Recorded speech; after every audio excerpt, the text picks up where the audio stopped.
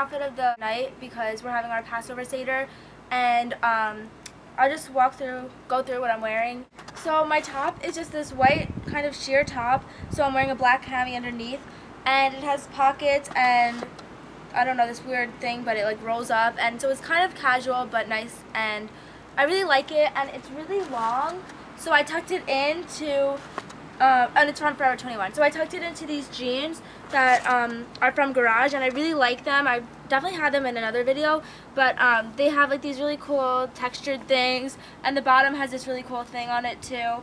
Um, so I just thought that they would like make the outfit not as simple since the white top is kind of simple.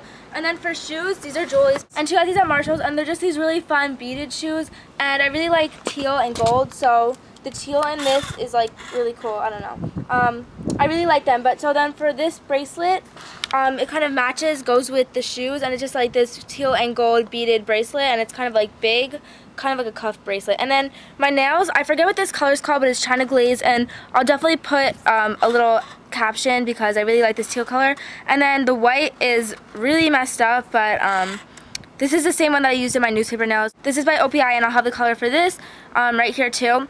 And so I really like like how they look with like the little accent color I guess you could say.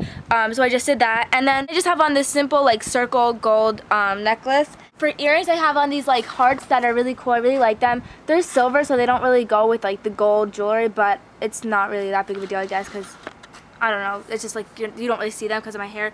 But I don't really know where these are from. For my hair, I kind of straightened it, but then like I played around with it to make it like not so straight, and like I um, teased it a little to make it more like voluminous. And I think that's the whole outfit. Then for uh, my perfume, this is my favorite perfume. It's called So Kiss Me, and I really like this. It's just like a sweet perfume and it's not that strong, but I really like this. So this was in my perfume video and you should definitely go check this out. I really like it. It's from Kohl's. It's from Kohl's, yes. Bye guys. Thanks for watching. Have a great day. Bye.